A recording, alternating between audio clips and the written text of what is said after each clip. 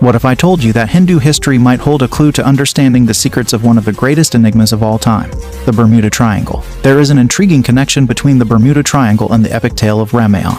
Let me explain. Legend has it that Simhika possessed the power to attract anything towards herself, similar to the magnetic force often associated with the Bermuda Triangle. According to the Ramayana, Lord Hanuman encountered Simhika while he was searching for Mata Sita, who had been abducted by Ravan. As Hanuman flew over the ocean, he suddenly felt a strange and invisible force draining his powers. After careful analysis, Hanuman discovered that it was none other than Simhika who was attempting to capture him using his shadow. Realizing he was in a battle for survival, Hanuman cunningly decreased his size and infiltrated the demoness's body, ultimately destroying her from within. Now here's where things get truly intriguing. Many believe that the place where Simhika retreated after her defeat could be none other than the mysterious Bermuda Triangle. The parallel between Simhika's ability to grasp objects and being through shadows and the unexplained phenomenon of the Bermuda Triangle's ability to seize anything that enters its realm is striking.